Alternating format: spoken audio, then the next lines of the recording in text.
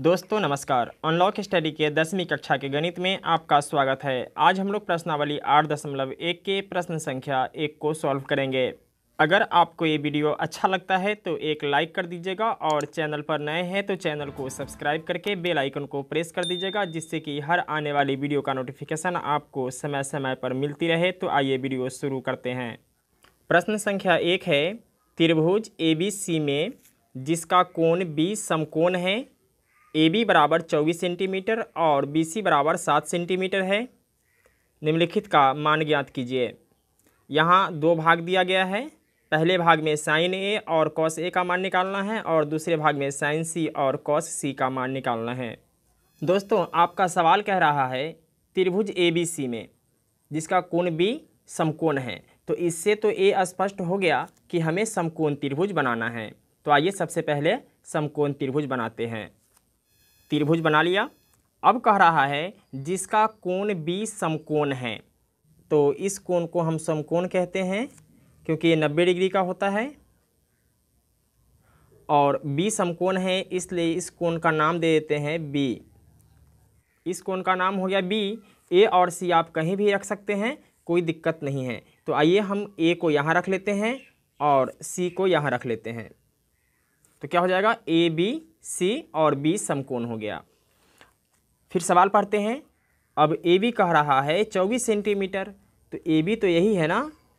तो यहाँ हम लिख देते हैं चौबीस सेंटीमीटर। अब कह रहा है बी सी बराबर सात सेंटीमीटर तो बी से सी, ए वाला लाइन है तो यहाँ हम डाल देते हैं सात सेंटीमीटर।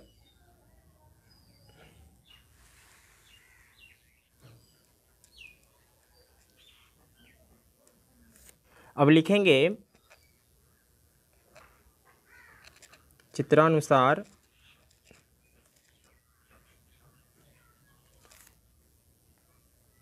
त्रिभुज ए बी सी एक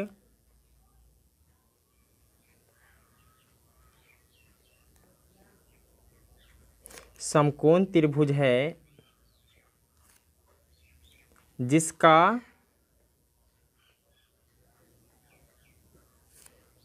कोण बी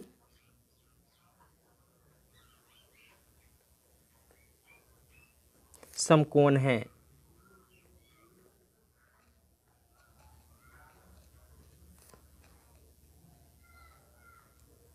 ए बी बराबर कितना है? चौबीस सेंटीमीटर है और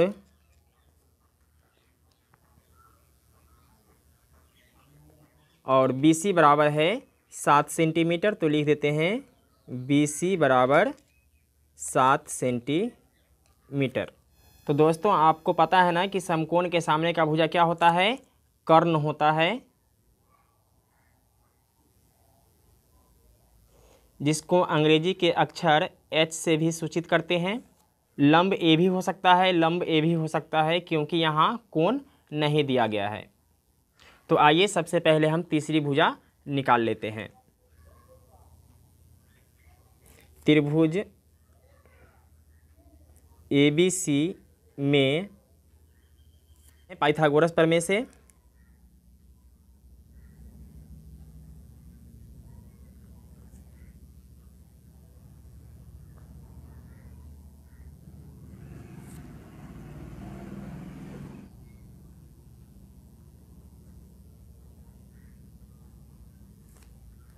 क्या होता है? कर्ण का वर्ग होता है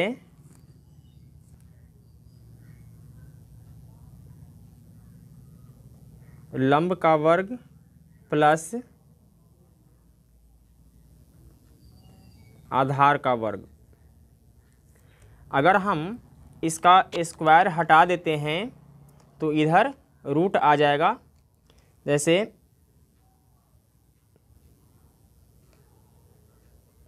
कर्ण बराबर हो जाएगा रूट अंडर लंब का स्क्वायर प्लस आधार का स्क्वायर।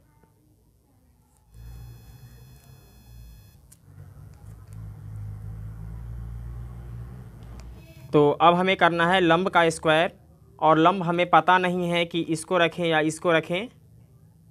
खैर, कोई बात नहीं है।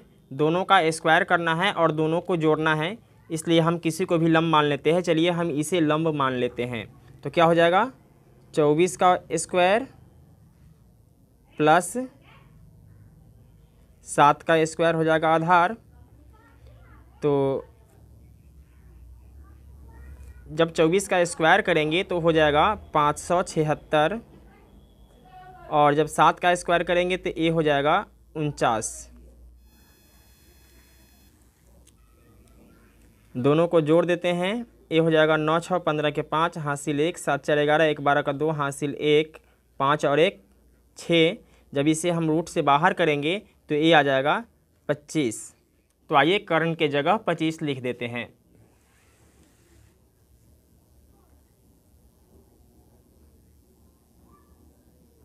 अब हमें मान निकालना है साइन ए और कॉस ए का। साइन ए का और कॉस ए का। तो दोस्तों, आपको पता है कि साइन का मान जो होता है, वह होता है लंब बटा कर्ण और कॉस का मान होता है आधार बटा कर्ण। इसको इंग्लिश में हम लिख सकते हैं पी बटा एच और इसको इंग्लिश में लिखते हैं बी बटा एच तो आइए देखते हैं पी बी और एच का मान कितना है। दोस्तों, यहाँ साइन ए कह रहा है, यानी ए वाला जो ए है, यह कोण को दर्शाता है। तो इसका मतलब ये है कि भाग संख्या एक में कोण जो होगा, वह ए वाला कोण होगा। जब कोण ए होगा तो इसके सामने का भुजा क्या हो जाएगा? लंब हो जाएगा। जब लंब ए होगा, कर्ण तो ए है ही तो आधार क्या हो जाएगा? आधार हो जाएगा चौबीस। तो लंब है सात, आधार है चौबीस और कर्ण है पच्चीस।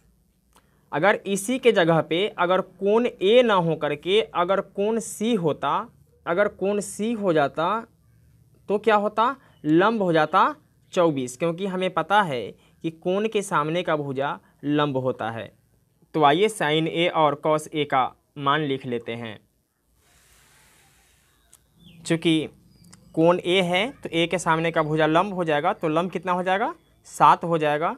तो लिख लेते हैं, सात और कर्ण का मान कितना है? तो पच्चीस है। तो सात बटा पच्चीस आंसर हो जाएगा। कॉस ए का मान निकालना है तो कॉस ए का मान बी बटा एच होता है। तो जब लंब ए होगा तो आधार क्या हो जाएगा? ए वाला हो जाएगा, यानी बी का मान हो जाएगा चौबीस, और कर्ण का मान हो जाएगा पच्चीस तो ए हो जाएगा चौबीस बटा पच्चीस।